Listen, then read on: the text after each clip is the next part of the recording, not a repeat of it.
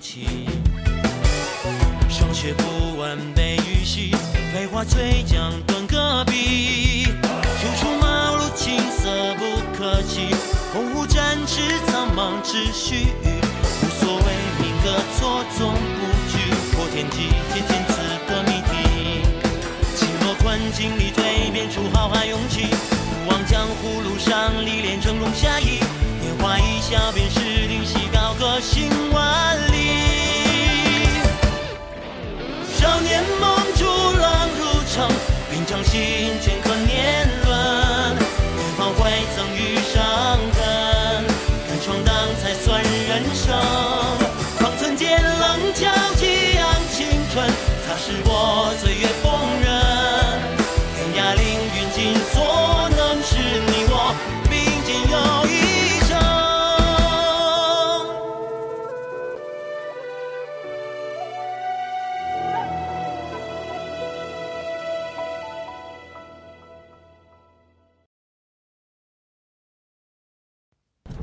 啊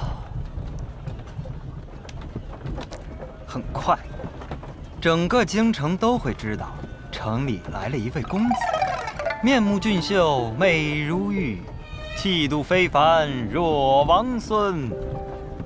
又是锄强扶弱，又是赈灾济民，简直就是神仙转世嘛！哼，算怎么样了？我们在青州白家的那家叫洛泽坊的典当铺子啊，已经没了。梁掌柜，嗯，我是不是很败家？你这个败家呀，嗯，败得稍显逊色点儿。别说跟你的父亲比，就连你那个风流的哥哥你都比不上。当年你哥哥在花楼里潇洒一晚，就能省出两间铺子。嗯，不过大公子呢是令家族蒙羞，而三公子此行呢，定能让家主赞不绝口啊！对对对对！看来我还得加把劲儿办，要不然这家主之位早晚还得是我的，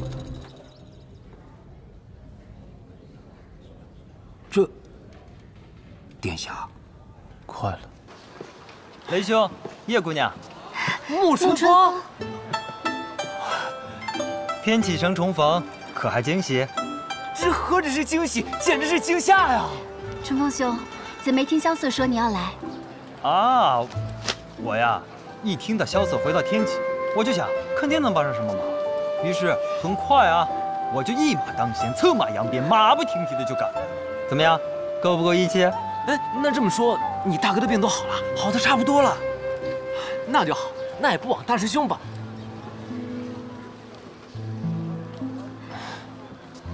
把他们的捕蛇神药给你们了。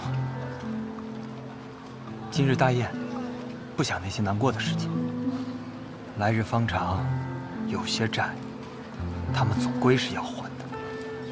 嗯明白。萧瑟在上面等你呢，赶紧进去吧。来，请。青州云间城穆家三公子穆春风前来赴宴。萧公子，我们又见面了。穆春风，你怎么先跟他打招呼啊？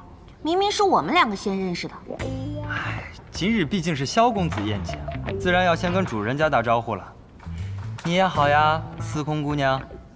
话说你怎么来了？那自然是我在离开秋水渔城的时候，给他们留了手书，说是到时候在天启相聚。啊，对，多谢穆公子了。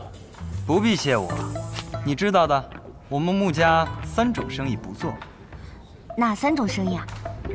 害人的生意不做，亏本的生意不做，以及太小的生意不做。你这生意够大，我愿意做。而且我家老头子没说不让做看来你家大哥的病还没治好。胡说纯粹是胡说啊。你们穆家不是北离首富吗？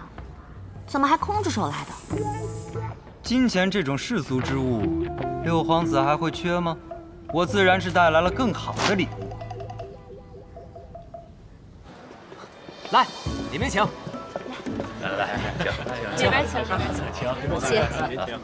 来，掌掌关系。京沿李府四月坊，公孙连当不可踩一楼。